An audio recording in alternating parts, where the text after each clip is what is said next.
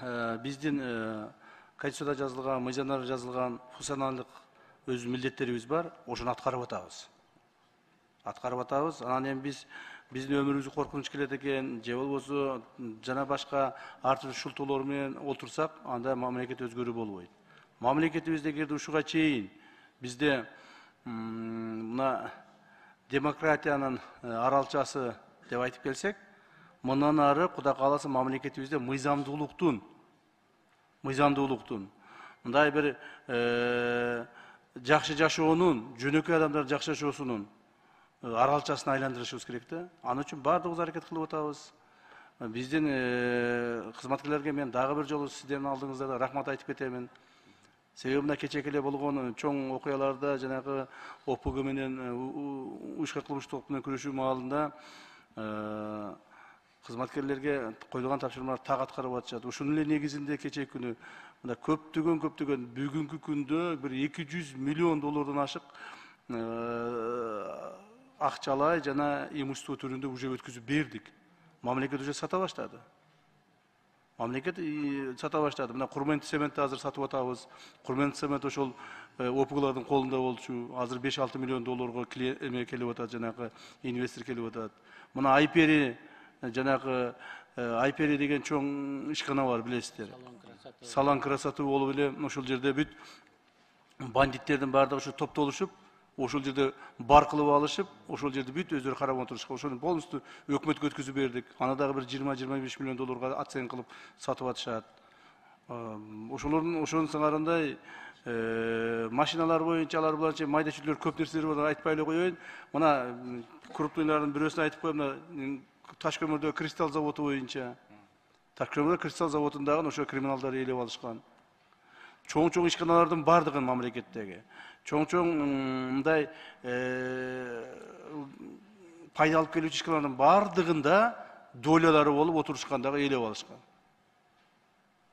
азыр бүт баарын мамлекетке алабыз мамлекет ошолорду колдонот мамлекетке общей сложности приблизительно на миллиард двести миллионов долларов имущественные и финансовые средства алып атабыз кечээ эле бир чоң ишканадан көлбаевдин он миллион долларлык он миллион доллар финансысын таап чыктык. Мына кечээ алар чакырып ошолор өздөрү добровольно өткүзүп беришти. Нак акчасын буга чейин дагы бирөөсү он беш миллион доллар өткүзүп берди.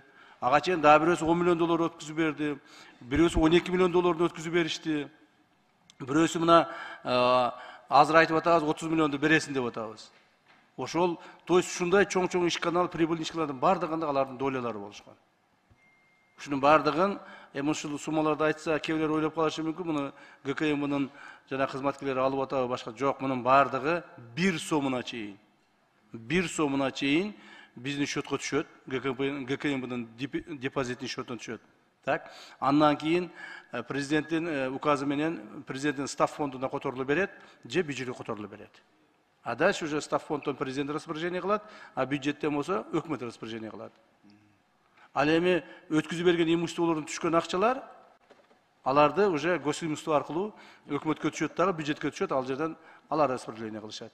То есть биз гкмб ошол кабыл алган өткүзүп алган имущество финансылардан бир сом бир тыйын распоряжение кылбайбыз. Өкмөт өкмөткө өткөзүп берип эле расчету менен отурабыз да. Бул бир жагынан жакшы болуп атат. Себеби биздин кызматкерлер дагы биз только ошол кылган ишибиз статистикага жооп беребиз финансага жооп бербейбиз. Ал эми кызматкерлердинге мен ушу тапшырма берип атам күндө сүйлөшөбүз күндө күнү түнү иштеп атабыз. Кызматкерлерге койгон негизги талап ушул урматтуу депутаттар. Кайтарылып алып аткан суммалардан опг менен коррупция менен мамлекет уурдаганды кайтарып аткан суммалардан бир сом акча же бир түймөсүнө тийбегиле деп атам. Бир топчусуна тийбегиле так? Кызматкерлер ошону аткарып атышат. Аткарбаган кызматкерлерди жумуштан алып атам ачык эле айтайын мына кечээ эле күнү. Кечээ буквально кечээ күнү үч кызматкерди жанагы по жумуштан алдым. Себеби бирөөсү жыйырма сегиз миң доллар бирөөдөн взятка алып койгон бирөөсү бирөөгө жардам берип бир инвестордун сексен эки миң долларлук акчасын бирөөгө өткүздүрүп берип койгон үчөөнү кызматтан алдым.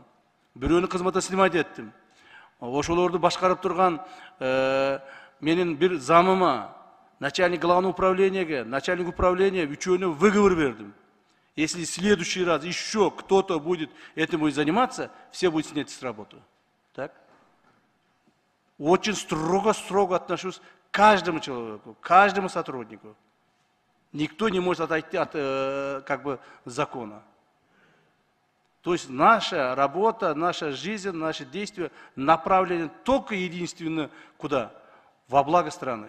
Другого выхода у нас нет. И биздин сотрудниктер ошону туура түшүнүп атат. Айлыктарыбыз жакшы былтыр көтөрүлдү. Бирок биз азыр өкмөткө дагы сунуш берип атабыз. Дагы жардам бериңиздер көтөрүп бериңиздер. Биз айлыкты көтөрсөк бир жылына бизге где то бир ну приблизительно айтам мен анан точно айтпаймын силерге естественно төрт жүз миллион сомдун тегерегинде акча кетет экен. Так? А биз болсо биз болсо жүз миллиардтаган сомду алып келип атабыз урматтуу депутаттар өзүңөр карап көргүлө кумтөр канча таап атат жылына үч жылда канча таапты үч жылда гкмбдан бюджетке толукталган акчалар канча болду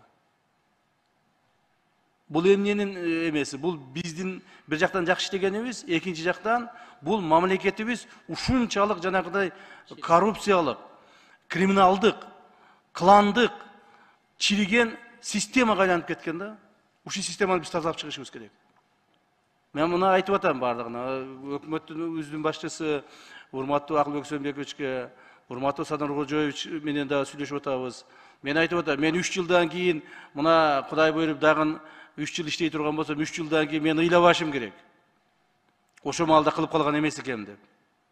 Же болбосо менин бул кадрым бар тиги кадрым бар тиги кадрыма ишенип отурбашым керек. Мен мыйзамга ишенишим керек. Үч жылдан кийин мени мыйзам коргош керек. Мен эл алдында жүзүм жарык жүрүп мени мыйзам коргоп жүрүшүм керек. Ар бирибиз ошондой болушубуз керек. Мурдагы бийликтер эмне болду мени тиги коргоп калат бул премьерим коргоп калат бул министрим коргоп калат деп жүрүп мына системага тийбей жүрүшкөн биз ушул системаны чириген системаны тазалайбыз деп кирдик мен жакында азыр дагы үч төрт күндөн кийин айтам эми айта турган болсом бир чоң система боюнча мына сот жана адвокатура боюнча катуу иштерди азыр жүргүзөбүз. Мамлекетибизди бүт тазалашыбыз керек. Силер жардам бергиле урматтуу депутаттар. Баарын чекке жылдырып коелу. Жеке кызыкчылыкты бизнести акчаны мен үчүн эч нерсенин кереги жок. Мен ачык айтып коеюн мына мен бул реклама деген сөз эмес бул же болбосо бирөөгө мактаныш эмес. Мен сотрудниктерим да баарды билет коом дагы жакшы билет азыр мага эч нерсенин кереги жок. Байлыктын дагы креслонун да башка мага бир гана маселе мамлекетибизди таза мыйзамдуу өлкөгө айлантып калышыбыз керек. У нас есть шанс большой шанс бар. Так? По борьбе с опг еще жестче будет борьба. Вот мен ачык эле ушул трибунадан силерге дагы бир мисалды айтып коеюн. Мына бүгүн азыр женганы алдырып атамын эмеден тигил оштон он при всех признавал тем что то он отказывается от э, воровской идеи. Нет. Он не отказался. Эмеге экранга айтып коюп он продолжает. Я сделаю так что он не продолжал. Я сделаю так что он никогда не стал дальше лидером опг что бы это ни стоило. И каждому это относится. Экраннан айтып коюшуп эле болду биз идеядан кайттык болду бүттү эми деп коюшуп кайрадан вот этим заниматься заниматься не будут теперь я как обещал в нашей стране опг не будет. Так в нашей стране кто-то кого-то накладывает какими-то дополнительными грузами никто не будет. Спокойно.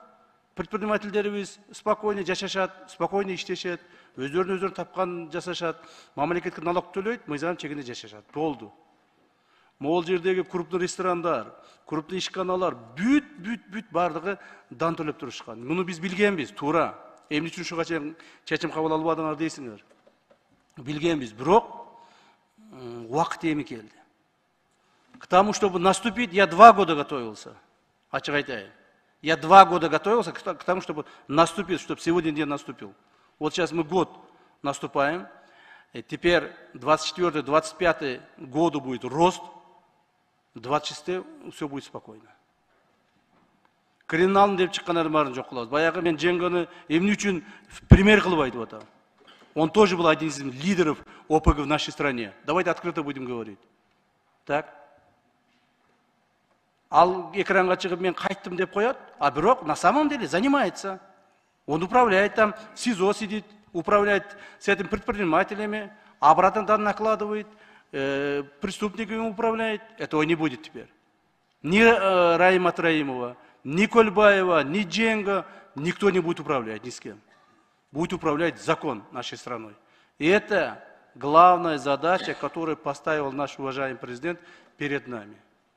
Урматтуу депутаттар ушул боюнча силерге дагы айтып коеюн колдой бериңиздер силер дагы колдой бериңиздер да у нас бывают такие ошибки какие то недостатки бывают ничего такого.